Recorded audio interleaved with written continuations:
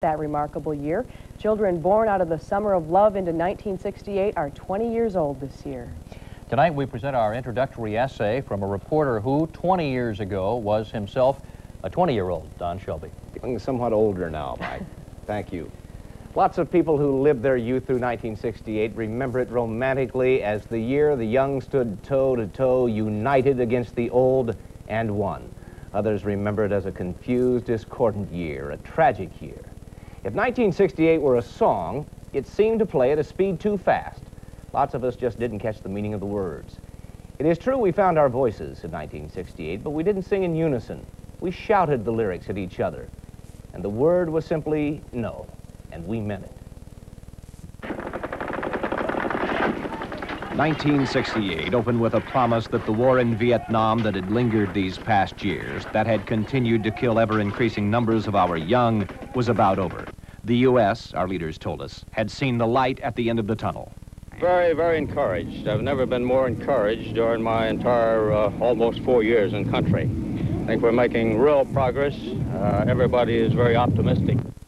The general was wrong. The communist had a New Year's surprise. It was called the Tet Offensive, and it caught the South and the American High Command flat-footed.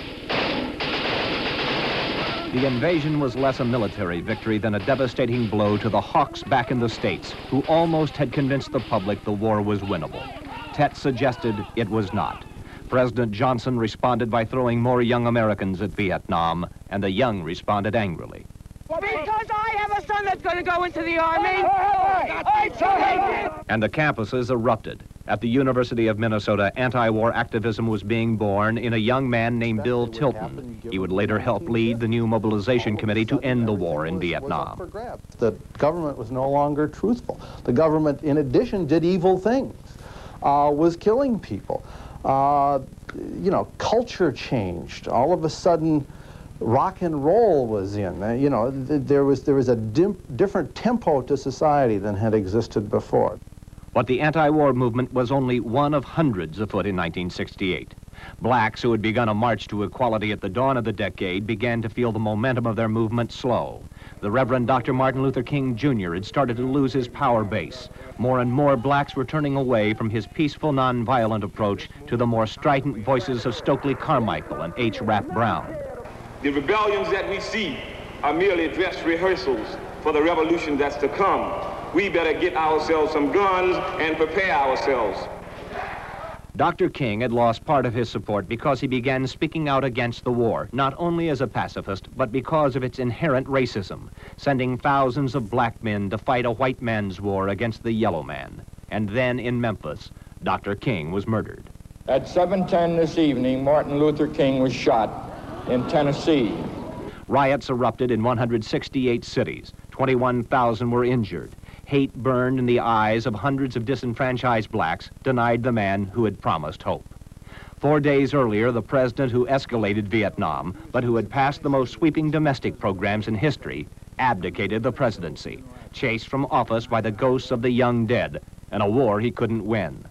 I shall not seek, and I will not accept the nomination of my party for another term as your president. America began to look closely at itself in 1968, and many people, young and old, came away not liking what they saw. My thanks to all of you, and now it's on to Chicago, and let's win there. Bob Kennedy fit 1968. He was a paradox. He was rich, and the poor loved him. He orchestrated his brother's invasion of Cuba, and the anti-war forces rallied behind him.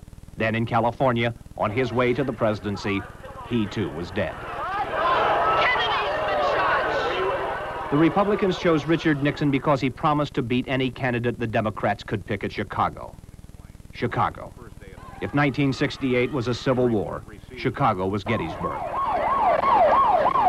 Inside the convention, Minnesotan Hubert Humphrey, who had wept at the scene outside, accepted his party's nomination. Humphrey would lose the presidency.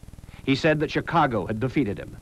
Richard Nixon would say later, the Republicans did not win. The Democrats had lost. And the rest, as they say, is history. Still to come was Kent State, the end of Vietnam, the fall of Saigon to the communists, Watergate, all in their own way owing their origins to 1968. It was a year of rebirth and death. It was the rebirth of the idea that democracy was, for better or worse, in the hands of the people. And 1968 brought the death of blind trust and allegiance in one's country. And after 1968, we would cease to elevate men to hero status. 1968 robbed us of one certifiable hero in Dr. King. The year took from us another man who was heir to the hero's legacy, Bob Kennedy. Tomorrow night, Dave Nimmer reports on those assassinations. Later on, we're going to hear about two Minnesotans who played a big role, Hubert Humphrey and Gene McCarthy in 1968. All right. Thank you for your report, Don. Thanks for coming in, Don.